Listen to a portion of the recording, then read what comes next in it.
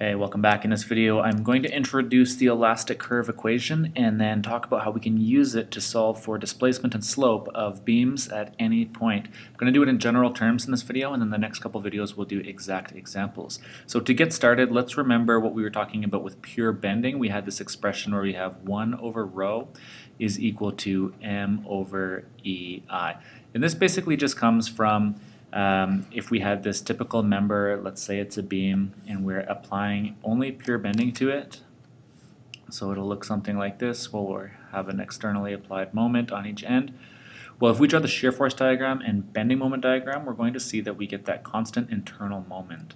Now, if we consider another type of, of structure, let's say we have a, uh, let's say a cantilever beam like this, uh, with a fixed rigid connection to some some wall. So we'll just shade it in like that. All right, and uh, let's say that we are applying just a single point load uh, at the end. Well, we're going to find that we get a non-zero shear force diagram, and then a bending moment diagram is going to reveal that our bending moment is actually changing along the length of the beam. So in this case, with a point load on a cantilever beam, the expression for our moment as x increases, basically as we go left from right, uh, we're going to say that the moment uh, in terms of x is equal to negative p times x, right? So when, when x equals L, that's why we're getting that negative PL there, basically at that support. So this is pretty much the case where, um, where anytime where we're having transverse loads, basically, uh, you know, just perpendicular to the, the member that we're looking at, so any type of point loads or um, distributed loads and that sort of thing, um, we're going to be having to take an account for that, that the radius of curvature is, uh, is well, this actually that the moment is not constant along the length, and so the radius of curvature expression has to be slightly adjusted, so we'll say that radius of curvature is just equal to the expression for the moment in terms of x uh, over EI. All right, and it also turns out that 1 over rho, 1 over the radius of curvature, also happens to be equal to the second derivative of y. So we would say dy, or d squared y over dx squared.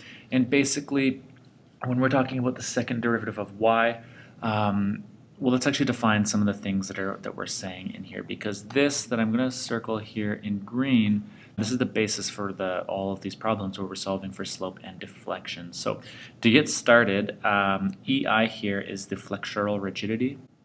This thing here is just the second derivative of y, and y is, uh, is basically the vertical displacement of the loaded structure from its undeformed position.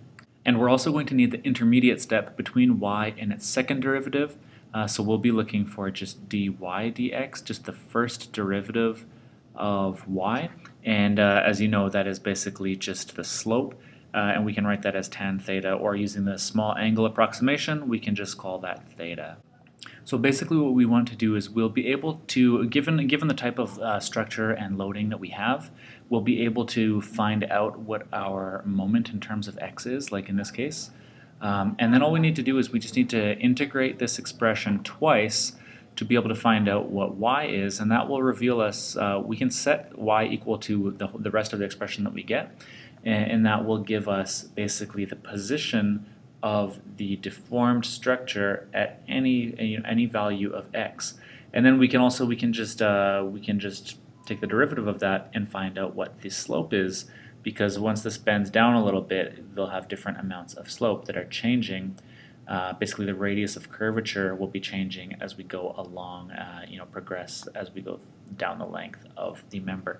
So quickly just looking at what that double integration looks like, um, we're going to basically have, we have m of x, and uh, we can just bring up the ei onto the other side. So we'll have ei, and then that dy, uh, d squared y over dx squared. So basically what we want to do is we want to integrate this uh, each side from 0 to x, and this is a constant EI, so we'll just throw that in, 0 to x. Uh, this will return us, we got to throw in little dx things there uh, to be all proper. So we're going to just leave this left-hand side the same as it is, so we'll have from 0 to x, we have mx dx, the integral of the second derivative will just be the first derivative. So we have ei times dy dx. Um, and then we'll, we'll have an integration constant left over from all of this stuff, so we'll just call that C1. All right, so there we did. We just did the first integral. Um, we can also rewrite this knowing that dy dx is, uh, is going to be equal to theta, uh, the slope, so we'll just, uh, I'll just rewrite that here. So we'll just get rid of dy dx. We can write this in as theta, right? And we're saying that up here, dy dx is equal to theta. And this expression becomes super important for us because uh, we're going to have, uh, I'll show you in a second, we're going to be using boundary conditions to figure out what the constant is, and then the rest of this will just be in uh, terms of x and y, and we'll be able to solve for, for this type of thing. Um, bear with me for one second. The next thing that we want to do here is we want to keep integrating. We want to integrate this again once more.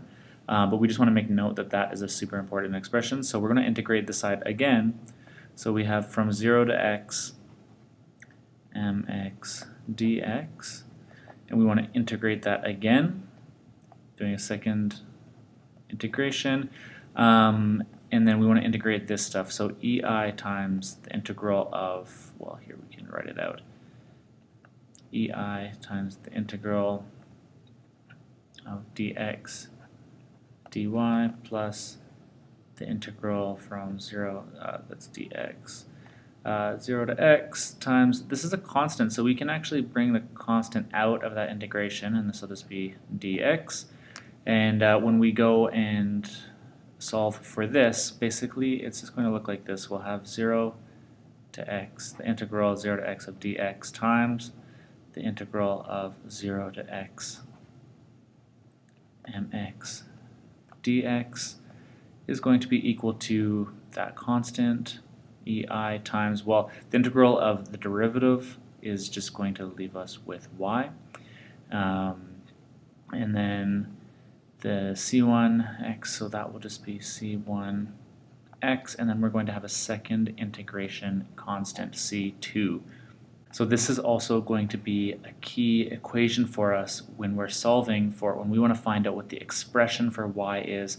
So basically we rearrange this one to give us an expression for y, um, and then we rearrange this one to give us an expression for theta, and that will, so the, the y one will give us basically the, the position of the deformed structure at any point, and this one will give us the slope of the uh, the different slopes along the length of that beam at any point.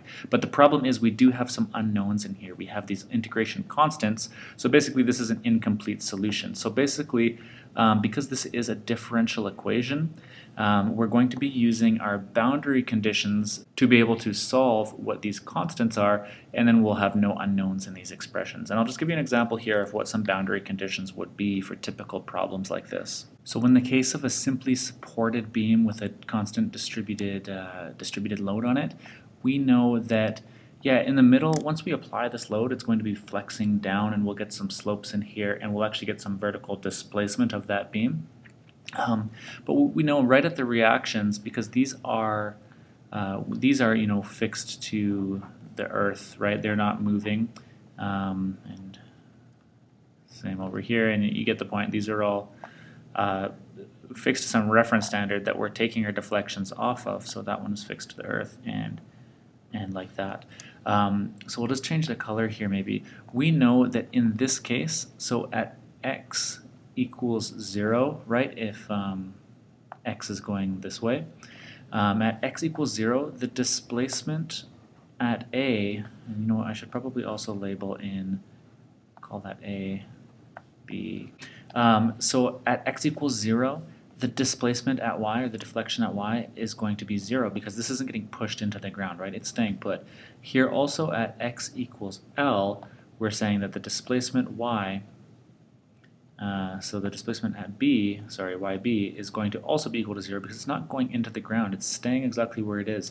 And these two sets of boundary conditions fix this, so we'd put in like x equals 0, and then we'd also set the y's uh, to be 0, um, that would actually give us one of the integration constants. And then we'd do the same thing. We'd plug in all the x's equal to L and all the y's equal to 0. And uh, that would give us the other integration constant. And then we'd be able to uh, work back, plug that stuff back into here because we would know C1 and then we'd be able to find like the slope at each, you know, at any point, and then we wouldn't have these unknowns anywhere. So it's a little hard to kind of visualize what that is without having done one with a real problem yet, but I just want to show you this so hopefully by the next videos you kind of see what's going on here. Um, in the case of like uh, the example from this video for a cantilever with a point load, the boundary conditions that we can work with are we know that at x equals L, uh, the displacement of the beam at B is going to be zero. And the other thing that we know is that at x equals L, the slope is going to be zero because it's a fixed connection. So whatever angle that is to begin with, it doesn't. We just assume that it doesn't actually get uh, deformed right at the connection. So in this case, when we're using our boundary conditions, we would have to plug in into this expression. Um, we would set all the x's equal to L and all the y's equal to zero, and then we'd solve for uh, whatever we can and then we'd plug in, because we have a theta here, we'd have to use this expression. So whatever our expression is with the x's, we'd set the x's equal to L, and then the theta is equal to 0, and then we'd get that other C1, and then we'd be able to solve those um, and, uh, and get actual expressions with no unknown integration constants. So again, you'll see these in the next couple videos. And these last two are a little bit more complicated. Um, each span is that has a continuous moment is going to give us two integration constants. Uh, and as we cross point C, we're actually going to be getting a discontinuous moment uh, expression. So we have to do two sets. We'll actually end up getting four integration constants using four boundary conditions.